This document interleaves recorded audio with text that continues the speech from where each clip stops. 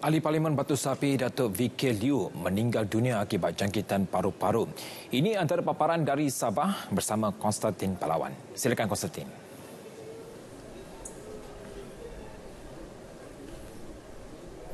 Terima kasih Nazri dan salam sejahtera.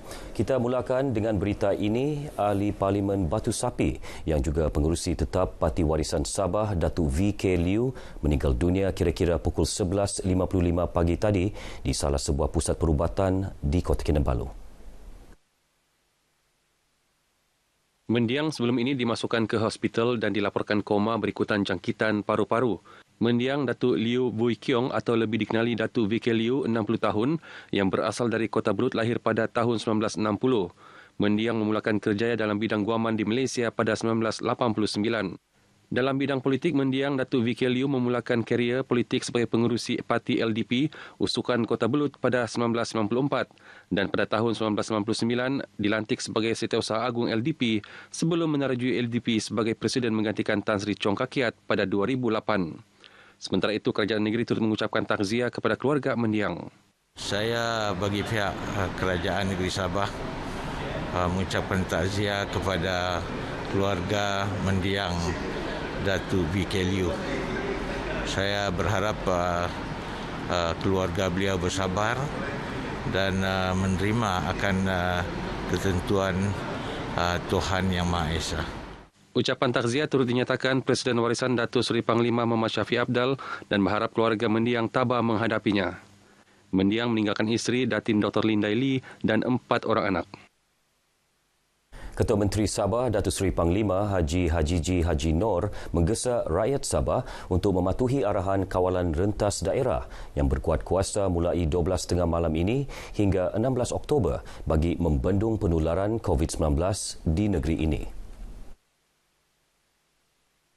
Menurut Datu Hajiji, kerjasama rakyat amat penting dalam usaha memutuskan rantaian penularan wabak itu dengan sentiasa berwaspada dan mengamalkan prosedur operasi standard SOP ditetapkan kerajaan. Usaha kita untuk membenteras wabak ini bukan satu perkara yang mudah kerana ianya masih berleluasa di negara-negara lain. Tetapi apa yang penting di Sabah kita kena usahakan pergerakan-pergerakan ini supaya rakyat kita tidak akan dijangkiti oleh uh, wabak COVID-19 ini. Beliau menyatakan demikian kepada media selepas menunaikan solat Jumaat di Masjid Haji Nor, Kampung Serusup, Toran. Semalam, Menteri Kanan Keselamatan Datuk Seri Ismail Sabri Yaakob berkata, kerajaan akan melaksanakan kawalan rentas daerah di seluruh Sabah, namun perkhidmatan perlu seperti bekalan makanan, perubatan, keselamatan dan lain-lain dibenarkan untuk melakukan perjalanan rentas daerah.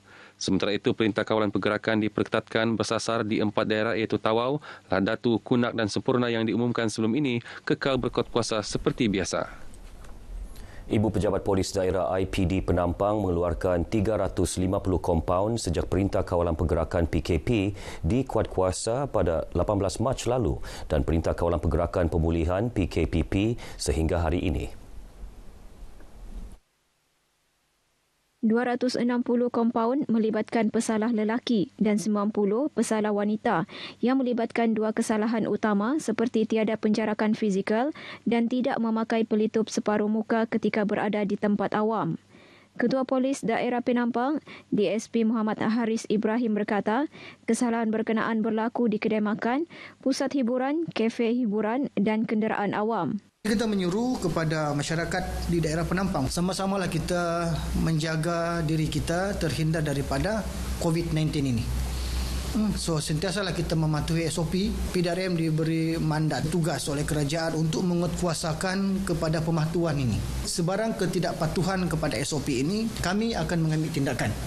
DSP Muhammad Aris berkata demikian dalam sidang media di Penampang. Golongan majikan seharusnya memanfaatkan program subsidi upah PSU 2.0 membabitkan peruntukan bernilai 2.4 bilion ringgit yang diumumkan Perdana Menteri Tan Sri Muhyiddin Yassin menerusi pakej kerangka inisiatif tambahan khas Kita Prihatin. Permohonan PSU 2.0 dibuka hingga Disember tahun ini bagi majikan atau syarikat yang berdaftar dengan perkeso sehingga 31 Ogos lalu. Pengarah Pertubuhan Keselamatan Sosial Perkeso Negeri Sabah, Dr. Muhammad Ali Hindia berkata, ia penting bagi memastikan syarikat maupun perusahaan serta pekerja yang masih terjejas akibat COVID-19 boleh meneruskan operasi sekaligus mengelak daripada pembuangan pekerja. Setakat ini, hanya 10% daripada 21,000 majikan di negeri ini berdaftar dengan Perkeso. Apa yang penting ialah majikan dan uh, perlu mengemukakan permohonan bagi pihak pekerja ini di mana membantu pekerja supaya uh, mendapat uh, pendapatan dan dapat menjayakan kelangsungan hidup ekonomi. Beliau menyatakan demikian kepada pemberita RTM bagi mengulas PSU 2.0 yang diumumkan Tan Sri Muhyiddin baru-baru ini. Kerajaan memperkenalkan PSU 2.0 selepas prihatin dengan nasib majikan dan pekerja dalam beberapa sektor, terutama pelancongan yang masih terjejas akibat COVID-19 dengan menghadapi pengurangan hasil sekurang-kurangnya 30% berbanding tahun lalu. Sekian berita dari Sabah petang ini bersama saya Konstantin Palawan. Budayakan norma baharu, pandemik COVID-19 belum berakhir. Kembali ke Angkasa Puri, silakan. Baik, terima kasih Konstantin. Perdana Menteri